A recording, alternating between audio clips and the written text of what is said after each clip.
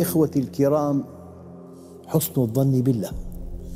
يقول الله تعالى في الحديث القدسي أنا عند ظن عبدي بي. أيها الإخوة الأحباب الله جل جلاله هو الذات الكاملة.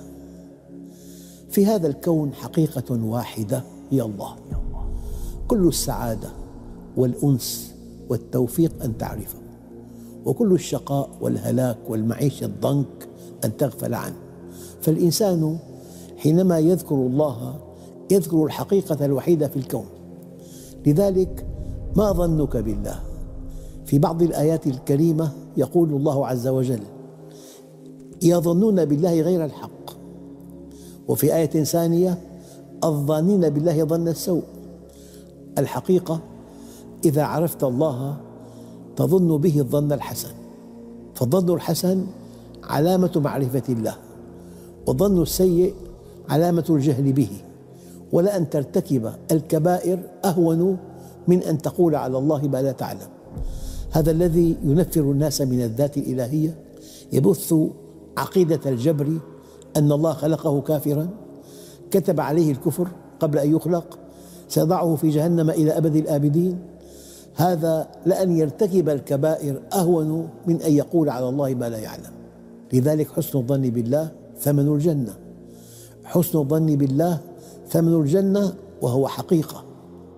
في علاقاتنا الاجتماعية قد تحسن الظن بإنسان ويكون على خلاف ذلك. أما فيما يتعلق بالذات الإلهية فحسن الظن بالله هو الحقيقة. أن تثق أن الله لا يتخلى عنك ولا يتخلى عن المؤمنين ولا يضيعهم ولا يضيع عملهم.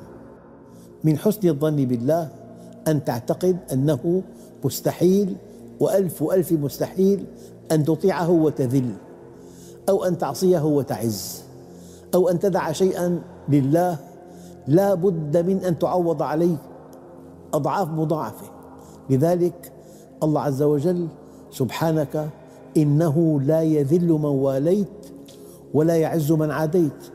أنا عند ظن عبدي بي. ظن به كما شئت. وكلما عرفته أحسنت الظن به ووثقت به وتوكلت عليه وصدقت تطمينه. قل لن يصيبنا إلا ما كتب الله لنا ولم يقل علينا.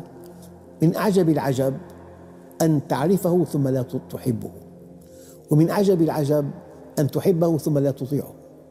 أنا عند ظن عبدي بي وأنا معه إذا ذكرني. أنا معه إذا ذكرني. ما معنى معه؟ هنا هذه المعية معية خاصة. في القرآن الكريم معية عامة ومعية خاصة.